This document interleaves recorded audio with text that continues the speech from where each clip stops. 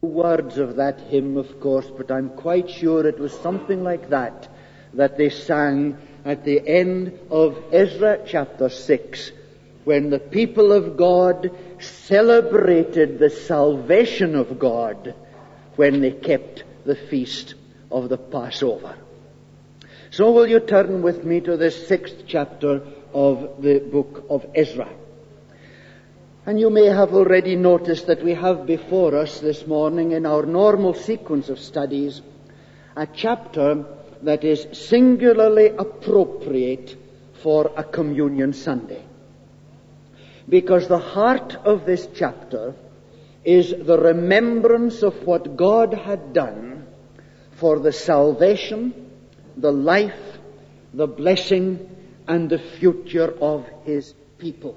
That's what the feast of the Passover was all about. But first, if we are to understand and learn from the story of Ezra, there are two things that we need to keep in mind as we go through the book chapter by chapter.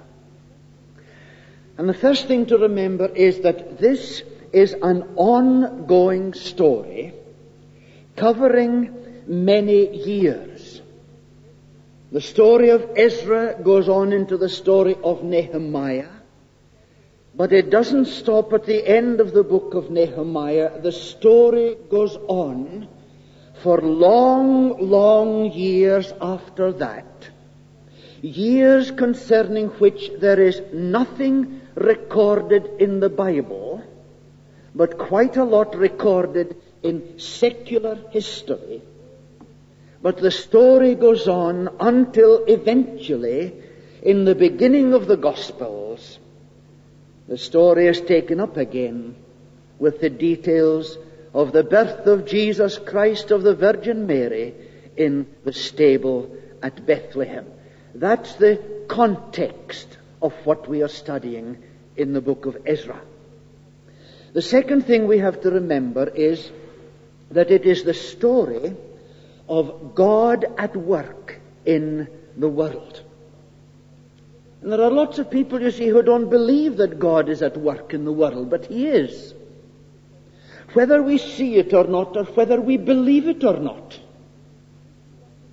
If, if you want to believe that the whole history of the world is, is just a, a sequence of events co- conditioned by economic and political considerations, then you accept that bleak, hopeless philosophy.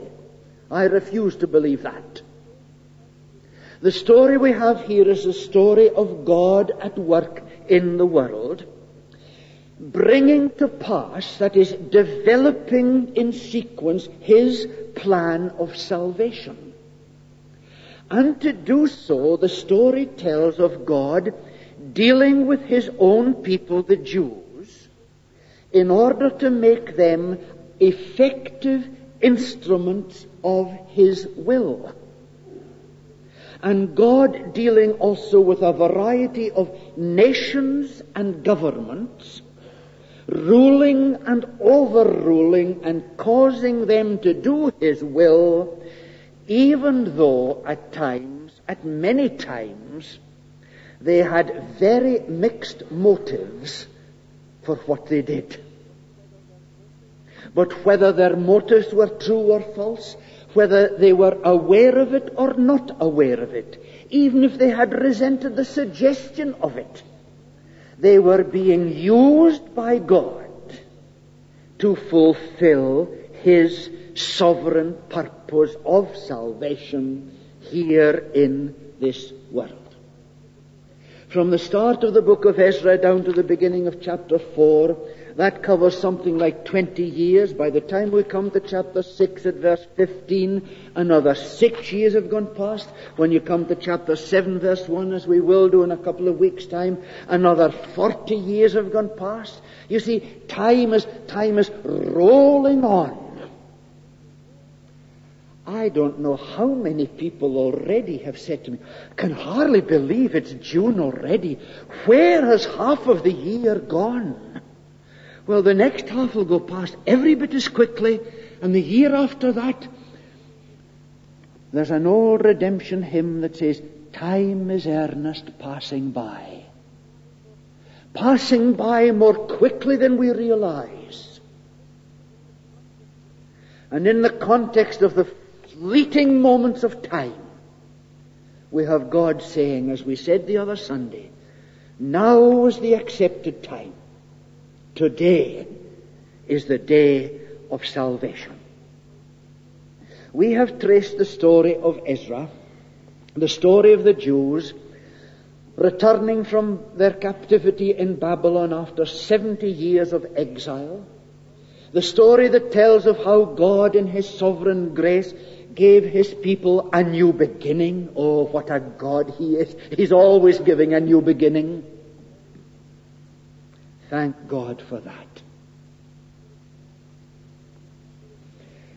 And the people of God back in their own land back to the city of Jerusalem were aware of the fact that their God had worked wonders for them. They never expected things to turn out like this. And there was a great surge of spiritual enthusiasm. And the altar of God was the first thing they did when they got back to Jerusalem. They cleared the rubble and they built the altar of God as if they were making a clear affirmation that God had to be at the very center of this new phase of life that had been granted to them. They were really saying, as for us, God first. And as they built the altar, and this becomes evident in a communion Sunday, they were really saying, God has to be remembered and what God has done for us has to be remembered. And the altar was also a reminder to the people that if their life and their work were to be effective, then they had to be right with God. It's no use trying to be, no use trying to serve God if your heart and your life are not right with God. All you'll do is to create confusion and you will get in the way of God's purposes. Christian service begins by being right with God. And so the new phase, the new beginning had really a great start. And then, of course, I'm revising what we've been saying these past Sundays. Then there came adversaries, opponents, critics, difficulties, oppositions. And gradually there came upon the people of God, for whom God had done so much so recently over a number of years, there came upon them a spirit of apathy. I'm not sure it was a spirit of, of complacency. Was certainly a spirit of apathy. I was looking up Paul's letter to the Galatians. Is it Galatians chapter 5? I forget which verse it was, where Paul said to these Christians, Oh, you began well. Who hindered you? Or what hindered you? And oh, how often we've seen this over the years. People, people coming to God through Jesus Christ. People claiming Christ as their Savior. Launching into Christian service. And oh, your heart is glad as you see their eagerness. And then there comes a time wherein your heart you say, Oh, they began well. What's, what's happened? The, the fires have died down. A spirit of apathy. And then there came, as we discovered last week when we studied chapter 5, there came into that situation the prophets Haggai and Zechariah. I commend you again, read the three chapters of Haggai and the first four or five chapters of Zechariah and see the kind of preaching.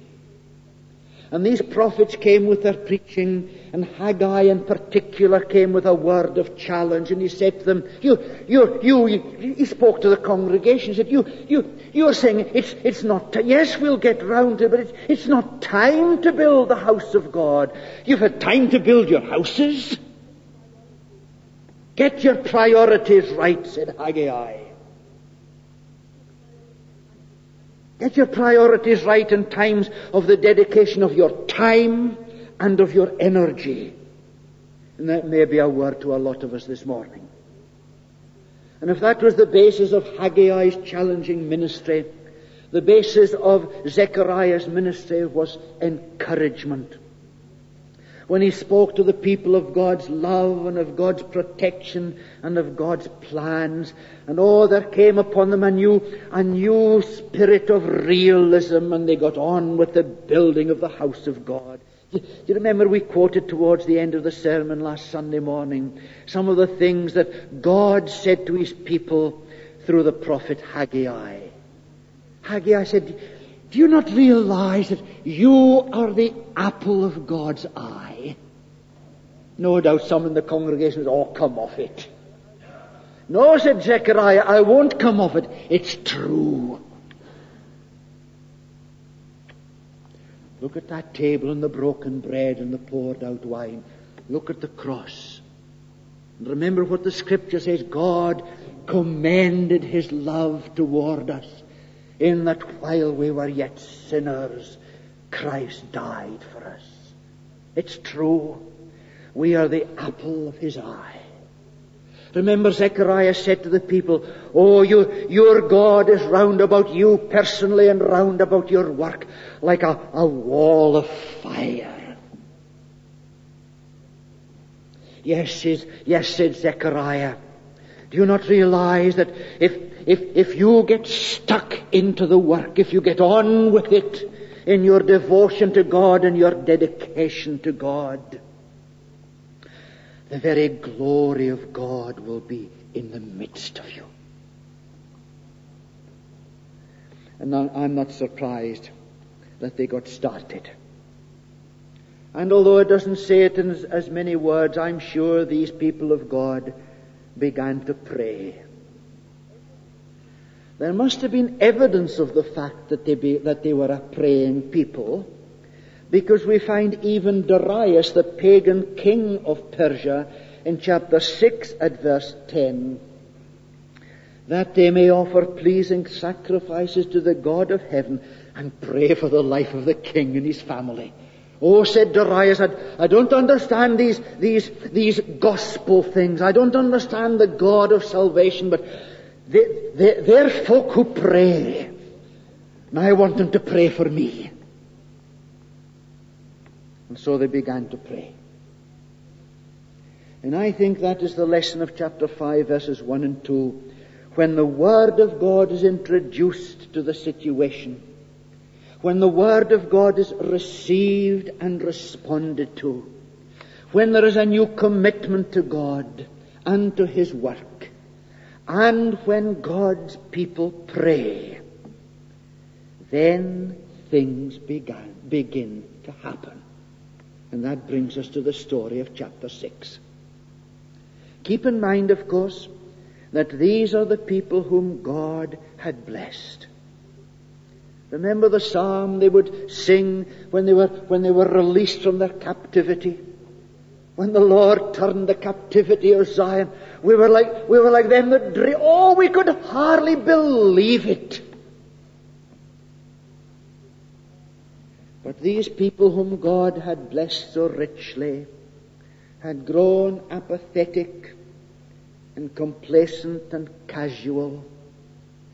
And they were no longer alive to God as they had once been. Chapter 4 told us of how there was a protest by the adversaries in the situation to the central government, and the work was stopped. And then in chapters 5 and 6, after the work had started again, the same thing happened. Protest to the central government. And again, search was made. And I think this time the civil servants did their job properly. And they don't always. On the previous occasion, they had looked up some reference and they said, oh yes, these Jews, they're a, they're a bad lot and the work was stopped. This time the search was done properly. And they came to the decree of Cyrus. And the work was vindicated. And King Darius said, Keep your hands off this work that belongs to God. And that's a permanent word to all those who take it upon themselves to be critics of and opponents of and denigrators of any work of God. I can imagine the Jews on the second occasion waiting patiently for the response from the capital with regard to what was going to happen. And in the commentary I use most of all for the story of, of Ezra, the commentator refers to the, to the hymn we sang the other Sunday. God moves in a mysterious way. The clouds ye so much dread are big with mercy. Can you imagine the leaders of the Jews and the leaders of the work and the people themselves wondering, praying their hearts out to God? It's amazing how often we pray in fear rather than faith. Oh Lord, Lord, we don't know what's going to happen. The Lord said, but I know what's going to happen. In, in a sense, the Lord said, oh, you're praying, you're praying, but you know, your prayer's been answered. The men on horseback with the written decree sealed by King Darius. They're, they're already, they've, they've been two or three days on their journey. Your, your prayer's been answered. The clouds ye so much dread are big with mercy and shall break with blessings on your head. The adversaries, with their accusations of failure, had of course behind them Satan the accuser, who's always seeking to disturb the peace of the people of God and the joy and the hope of the people of God. And he never gives up.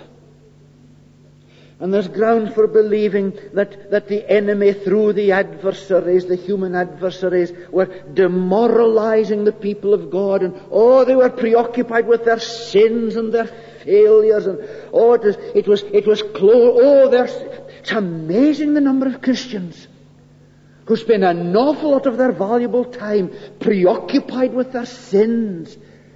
But my friends, if we're Christians, sins dealt with.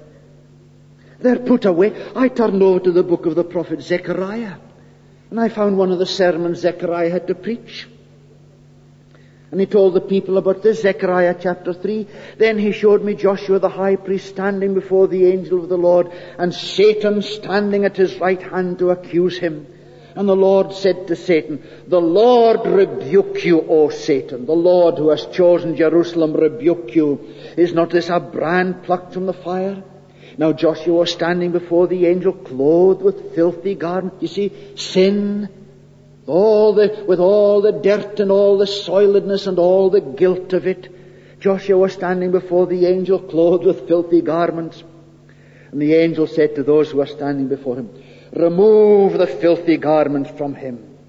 And to whom him he said, Behold, I have taken your iniquity away from you, and I will clothe you with rich apparel.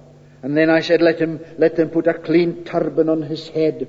So they put a clean turban on his head and clothed him with garments. And the angel of the Lord was standing by and said, you see my servant? Not a spot, not a stain, nothing to accuse, nothing to let you trouble him with, because all his sins are put away. Oh, we'll say in a few minutes at the Lord's table, speaking about the blood of Jesus Christ shed for many for the remission and that doesn't mean just the, the toning down of sin. It means the taking it away. You know the passage, I have been thinking about the book of Revelation, you see. In Revelation chapter 1, speaks about the Savior who has loosed us from our sins. I remember learning from a commentary that that word loosed is a technical term that was used particularly in, in relation to the Roman soldiers. And they had their toga or their cape round their neck, and it was fastened by a brooch or a clasp of some kind. But of course, you see, when they had to go into action, well, you don't want a cloak flapping around you. So all you had to do was to flick the clasp, and you were loosed from the cloak and you went on without it.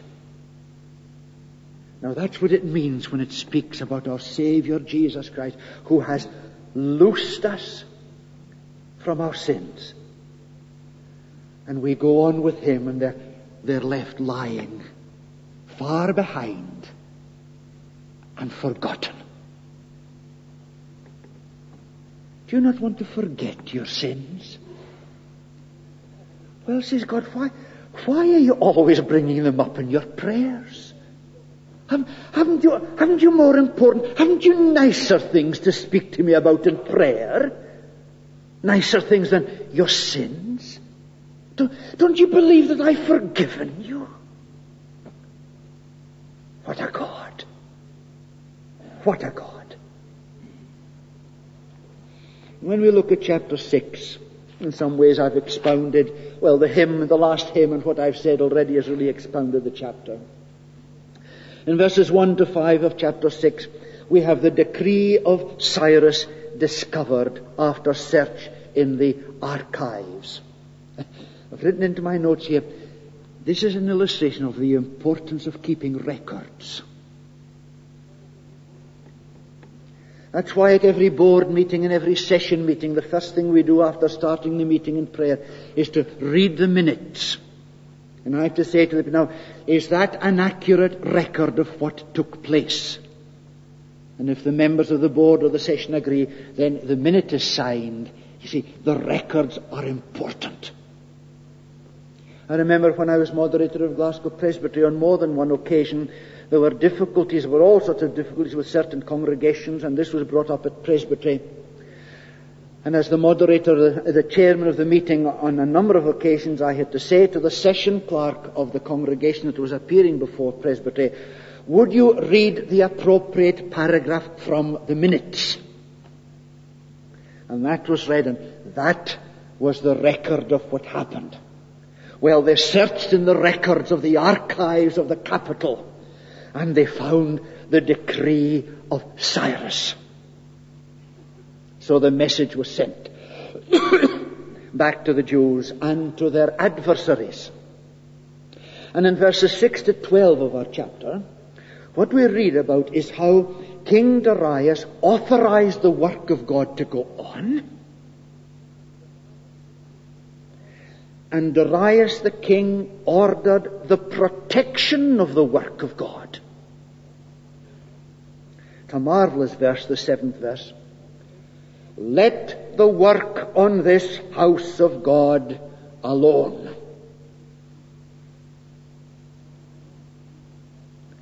And I could almost hear God Almighty saying, Amen. That's a permanent counsel to all who would oppose the work of God. It's not just a secular government it is the ultimate government who is God Himself who says, let the work on this house of God alone. Don't dare touch what belongs to God.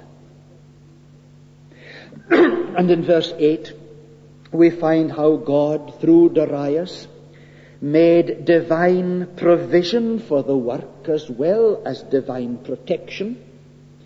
And there's something poetic of poetic justice, something akin to Gilbert and Sullivan's opera here about making the punishment fit the crime. These men in local government had opposed the work of God. Now they were told, get the work going and levy the rates and pay the cost. Not a good thing to fight against God. You never win. In verse 9, Whatever is needed, the end of the verse, let that be given to them day by day without fail. There were legal sanctions added to it. Verse 12. Now, the, these are the words of Darius, who was a pagan. He may have been religious, but he wasn't a believer in the God of salvation. May the God who has caused his name to dwell there in the Temple of Jerusalem, overthrow any king or people that shall put forth a hand to alter this or to destroy this house of God which is in Jerusalem. God's name dwells there. God has chosen that place and God had chosen that people. And God has chosen this place and God has chosen this people. And if you say, oh, we've come to this place so many times and we've been blessed, you know the reason? Because God is here. When I prayed with the elders before we took our places, in that prayer we asked that right from the start of the service, God would signify His presence with us. God is here. And God has blessed us already. God who has caused his name to dwell there. And when you speak about the name of God, you speak about the person of God, you speak about the grace of God and the glory of God and the love of God and all that God is. God is here in all his attributes. Oh, you say, what's he here for? To bless the likes of you and me. What a God. I took the trouble to look up the 25th chapter of the book of Exodus and the story of the tabernacle before there was ever a temple.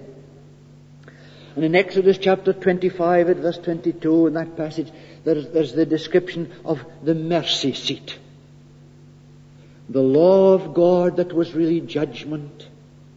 And the golden cover of that and the angels that constituted it the mercy seat. And on that mercy seat there would be sprinkled on the day of atonement the blood of the lamb that was sacrificed. And there at the mercy seat, God said, There where the blood of atonement is shed, I will meet with you.